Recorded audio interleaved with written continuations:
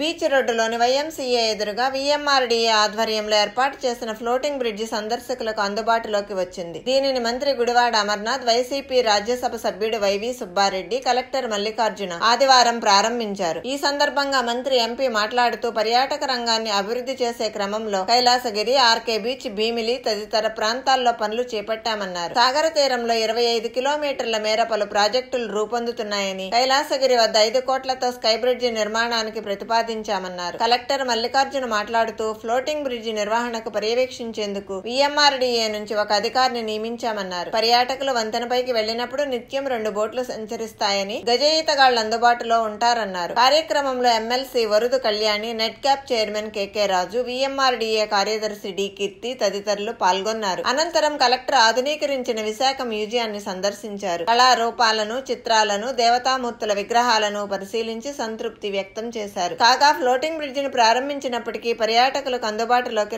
రాలేదు. సాయంత్రం పలువురు అక్కడికి వెళ్ళగా అనుమతి లేదని నిర్వాహకులు తెలిపారు.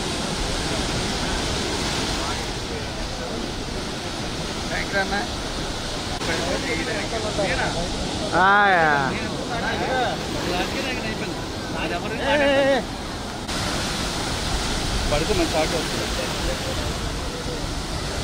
రికార్డింగ్ ఉంది తీరా. పేరు మీరు తీయకొచ్చారు పేరు రాయించాలి వీళ్ళు రాస్తాం ఆల్రెడీ వెళ్ళండి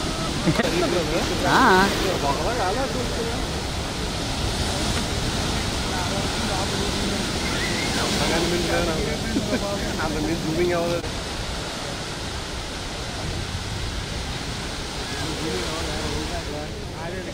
ఎక్కడ దాకా అవుతుంది అక్కడ దాకా అవుతుంది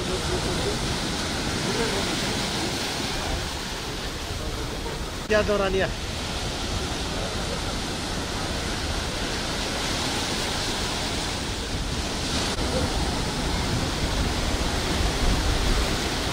ಬಂದ್ರಂಗೆ ಇರ್ಲಿ ಲಿಚ್ಚ ತೊಗೊಂಡ್ಕೊಂಡೆ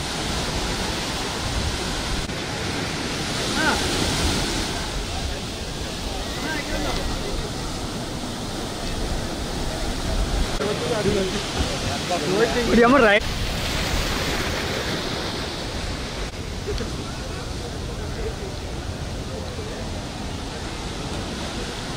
Adik adik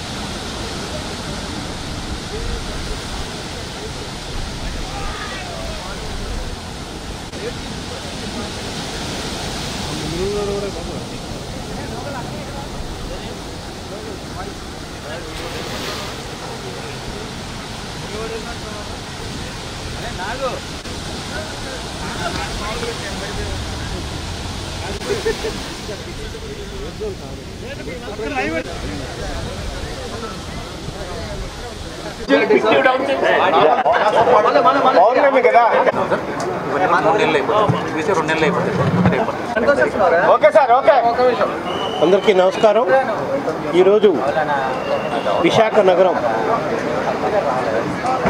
ఎంతో సుందరమైన నగరంగా అభివృద్ధి చెంద అభివృద్ధి చెందుతూ చేస్తున్న దాంట్లో భాగంగా విశాఖ బీచ్లో సుమారు కోటి అరవై లక్షల రూపాయలతో ఫ్లోటింగ్ బ్రిడ్జి నిర్మాణం చేసి పర్యాటకులకు అందుబాటులోకి తీసుకురావడం జరిగింది. దీనివల్ల పర్యాటకుల సంఖ్య గణనీయంగా పెరుగుతుంది. అదేవిధంగా సముద్రం నుంచి విశాఖ నగరం అందరాన్ని వీక్షించడానికి సుమారుగా హండ్రెడ్ మీటర్స్ లోనకెళ్ళి పర్యాటకులకి ఎంతో ఆకర్షణీయంగా ఉంటుందని మేము భావిస్తున్నాం. విశాఖ నగరం చాలా సుందరమైన నగరం. విశాఖ నగరానికి సుమారుగా ఇరవై ఐదు ఇరవై ఆరు కిలోమీటర్ల బీచ్ కేవలం ఇదివరకు ఒక ఆర్కే బీచ్ మాత్రమే అందుబాటులో ఉండేది. బీచ్ రోడ్లో ఇరవై ఆరు కిలోమీటర్ల బీచ్ రోడ్లు. మా ప్రభుత్వం వచ్చినాక పర్యాటక రంగంపై మా గౌరవ ముఖ్యమంత్రి జగన్మోహన్ రెడ్డి గారు ప్రత్యేక దృష్టి పెట్టి విశాఖలో ఇంకా రెండు ప- పర్యాటకులకి అందుబాటులో ఉండే విధంగా ఇంకా రెండు బీచ్లను కూడా డెవలప్ చేసే కార్యక్రమం మొదలుపెట్టడం జరిగింది.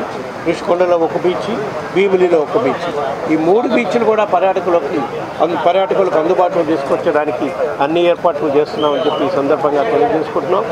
దానికి నిదర్శనం గత రెండున్నర సంవత్సరంలో పర్యాటకుల సంఖ్య విశాఖ నగరానికి వచ్చే సంఖ్య గణనీయంగా పెరిగిందని కూడా ఈ సందర్భంగా తెలియజేస్తున్నాం. పర్యాటకుల సంఖ్య పెరగడమే కాకుండా నిరుద్యోగ యువకులకు కూడా ఉద్యోగ అవకాశాలు పెంచుకోవటానికి కూడా ఈ పర్యాటక రంగంలో ఈ వివిధ వివిధ అభివృద్ధి కార్యక్రమాలు చేయటం వల్ల నిరుద్యోగ యువకులకు ఉద్యోగ అవకాశాలు వచ్చే విధంగా కూడా అన్ని ఏర్పాట్లు మా ప్రభుత్వం చేస్తుందని చెప్పి ఈ సందర్భంగా తెలియజేసుకున్నా.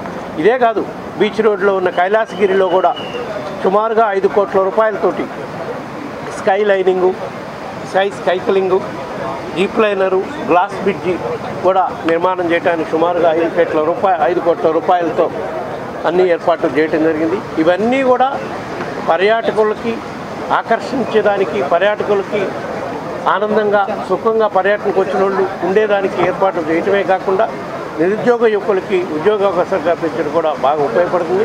ఇందులో ఈ రోజు చేసిన ఫ్లోటింగ్ బ్రిడ్జిలో కానివ్వండి రేపు కైలాసగిరిలో ఖర్చు పెట్టబోయే ఐదు కోట్ల రూపాయల్లో కానివ్వండి ప్రభుత్వం సైడ్ నుంచి ఒక్క పైసా ఖర్చు లేకుండానే అన్ని పబ్లిక్ ప్రైవేట్ పార్టిసిపేషన్ కింద పీపీఈ మోడ్లో నిర్మాణం చేసి ప్రజలకు అందుబాటులోకి తీసుకురావడం జరుగుతుంది.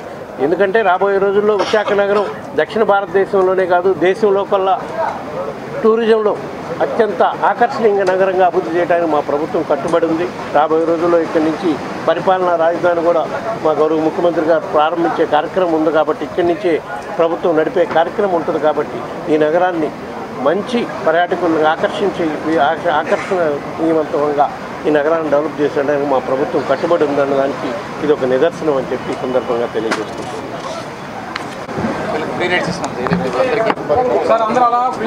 అందరూ మీరు ఇద్దరికి కూడా ఏర్పాటు చేస్తాం. Ten ten